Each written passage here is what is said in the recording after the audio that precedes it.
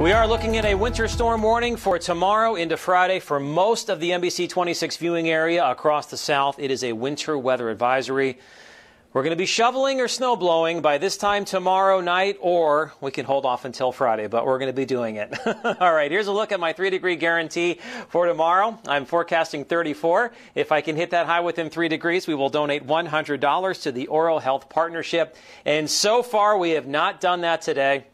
I forecast 34. The high was 30. It's 30 right now, and there's a chance it could still go up before midnight. I do go from midnight to midnight, but look at all these spots that had no problem with the three degree guarantee today. 30 in Shawano, 35 in Sturgeon Bay, 32 in Oconto. Even at NBC 26, the high temperature was 33 degrees, just a mile away from the official thermometer. Tomorrow, morning highs in the low to mid 30s. The snow develops and then becomes heavy towards evening. Back to you.